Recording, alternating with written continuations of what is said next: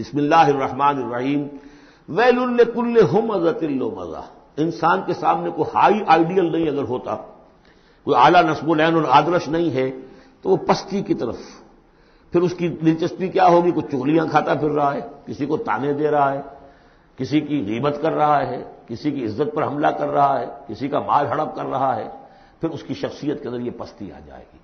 वही जिस पस्ती को देखकर एक हसास इंसान मायूस हो जाता है कि इंसान में खैर कोई है ही नहीं। ये तो गोया कि गंदगी की एक पोट है। किसी से पूछ लीजिए, कोई कहेगा सेक्स, और सेक्स इतना कि बाप अगर बेटी को मोहब्बत भरी निगाह से देख रहा है तो वो भी सेक्स है। माँ अगर बेटे के जिसम पर कोई शफकत से हाथ फेरे तो उसको भी सेक्स है। यहाँ तक पहुँचा। तो यह कि इंसान के अंदर कोई आला जज्बा, कोई आला फ़िक्र है ही नहीं। किसी कोई कोई बताया हमें। इंसान तो मेरा हैवान है, गंदगी की पोट है। कोई शख्स जो है बड़ा ऊँचा वास कह रहा है और कोई जेर लब मुस्कुरा रहा होगा कि ये वास जो फरमा रहे हैं, अपना रोब गांठना चाह रहे हैं। कोई इनकी और कोई मर्ज होगी, कोई शायद कोई नजराना मिलना हो इन्हें जिसके लिए वास फरमा रहे हैं। वास तो बड़ा उमदा है, लेकिन इंसान जानता है कि बड़े घटिया इंसान के बिलूम जो मोटिव हैं, इंतहाई घटिया होते हैं, जिससे कि फितरत से इंसान जो है मायूस हो जाता है, कि शायद इंसान में कोई खैर है ही नहीं। इसीलिए वो चार कस्में खाई थी। वह तीन, व जैतून, व तूर सीनीन, व हादल बलदिल अमीन। लकत खलक इंसान अफी आसन तकवीन क्या मोहम्मद इंसान नहीं थे? क्या मूसा इंसान नहीं थे? क्या ईसा इंसान नहीं थे? क्या नूह इंसान नहीं थे? इंसानी अजमत के ऊपर इतनी बड़ी बड़ी गवाहियाँ मौजूद हैं। लेकिन जब पस्ती पर आता है तो वाकई है कि इससे पस्त कोई नहीं, फिर असफला साफिलीन।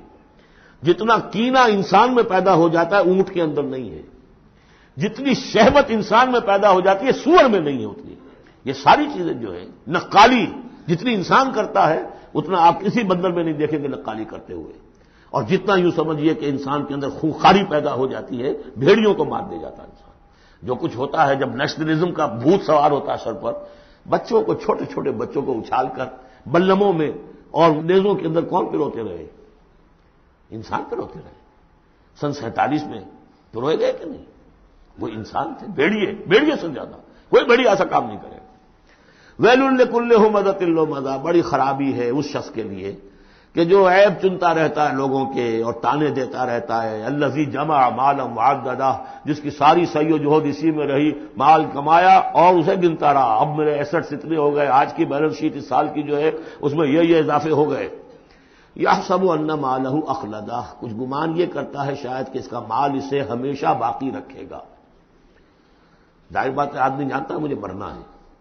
लेकिन इसी माल को सर्व करके, वो कोई ऐसे निशानात दुनिया में छोड़ के जाना चाहता है कि जिससे उसका नाम ज़िंदा रहे।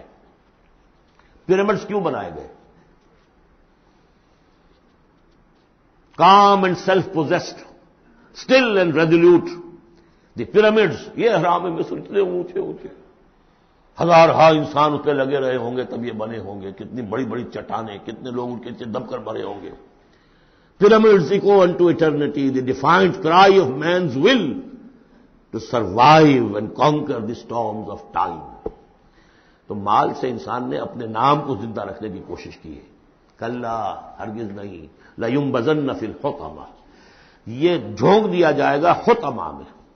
वमा अदरा कमल होतमा हो। तुम जानते हो कि वो क्या है? होतमा क्या है? नारुल्लाहिल मुकदा वो आग है सुलगाई हुई, अल्लती तत्तलो अलल असदा जो दिलों के ऊपर भड़केगी। अब ये आग कौन सी होगी? एक तो हमारे जमाने में एक साहब थे अगर अगरचे वो कोई आलिम दीन तो नहीं थे, अंग्रेज़ों की फौज में रहे थे तो कुछ उन्होंने चीज़ें पढ़ी थी। वो इस होतमा को एटम से ताबीर करते हैं। और एटम का जो होती है, जो आपको मालूम है कि फिर उससे जो फैलती है उसकी, चाहे वो बराह आग नहीं होती, वो उसका फॉल आउट जो है, वो वो यकीन जो है कि जो चीर के इंसान के वजूद को चला जाता अंदर। ये चीज़ें हैं। कौन कौन सी आगे हैं? आप समझिए, एक आग तो वो है, लकड़ी से हमने जलाई है, वो जलाती है तो इसको जलाती है। एक आगे वो, आग वो है जो इंफ्रा रेड रेज है अल्ट्रा वायलेट रेज है, या कोई और रेज है, ये खाल को कुछ नहीं कहती, अंदर जाके आप जिसम के जिस हिस्से को चाहते हैं, उसे हरारत पहुंचाती है। वो आग जो है नारुल्लाती तले अफेदा। दिलों पर जाकर वो रोशन होगी।